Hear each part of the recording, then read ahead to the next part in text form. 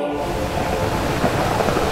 guys, today we are off to Sakleshpur. So let's go. Yo.